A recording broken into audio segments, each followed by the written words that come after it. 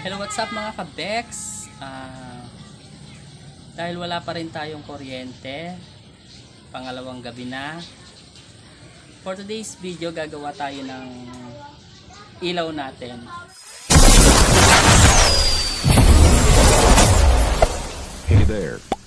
Subscribe to my channel. Gagamit tayo ng asin,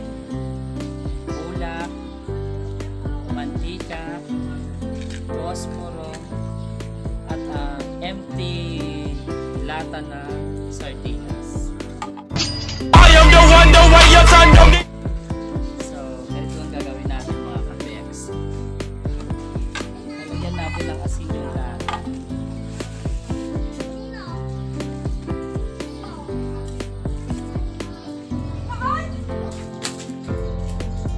So, hindi natin siya pupunuin ng asin. Next naman, gagawa tayo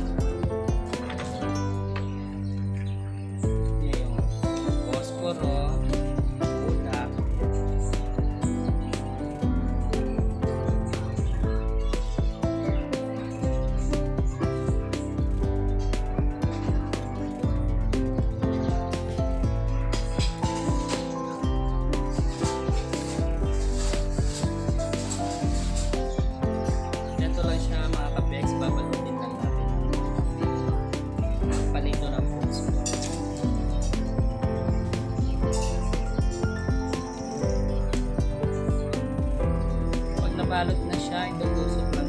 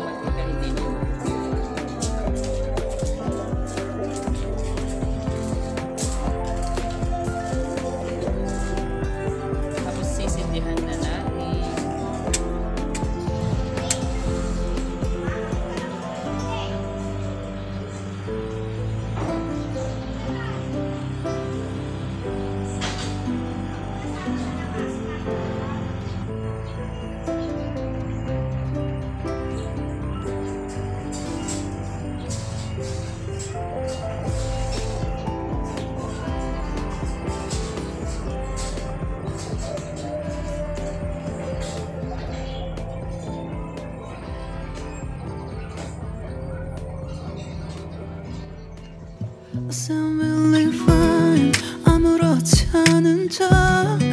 아무도 모르게. 조심하는데 또 티가 났나 봐. Sound 너와 함께 했었던 시간이 길었어. 나봐. 난네 옷을